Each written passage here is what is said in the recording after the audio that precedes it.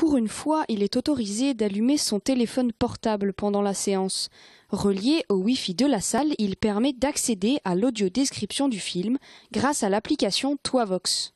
M'est venue l'idée euh, de créer un système très simple euh, sur la base de, de l'utilisation de smartphones. Et euh, grâce à ce smartphone, on télécharge l'application Toivox et on y connecte euh, un casque.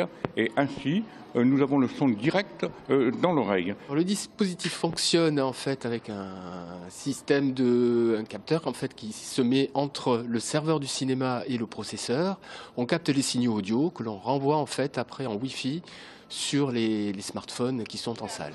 En cours d'expérimentation, ce dispositif destiné aux malvoyants et malentendants reste complexe et sa compréhension difficile.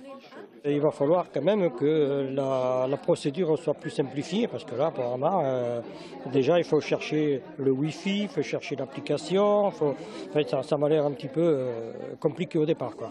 Cependant, les spectateurs apprécient cette nouvelle technologie. Oui, je suis très à l'aise. Oui, c'était très bien. C'est-à-dire que c'est pas gênant du tout. Euh, je pense que c'est un bon support qui aide. Ça m'a aidé d'une part à, comprendre le, film, à, pouvoir capter le, visuel et ainsi euh, pouvoir ainsi après euh, en, parler avec mes collègues, l'appréciation des jeux d'acteurs, des scènes, etc. Prochainement, le cinéma Gaumont proposera aux utilisateurs des lunettes avec sous-titres intégrés qui compléteront ce dispositif.